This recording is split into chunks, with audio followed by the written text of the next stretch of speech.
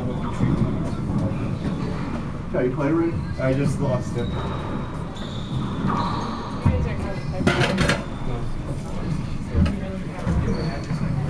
How season are it? Losing after the match. The only part about it. Last time.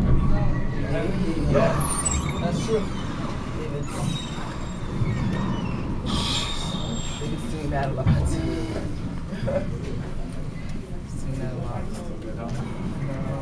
No, it's like 14-2 when I shot. Okay, yeah, I came down here, it was 11 2, so it's not that.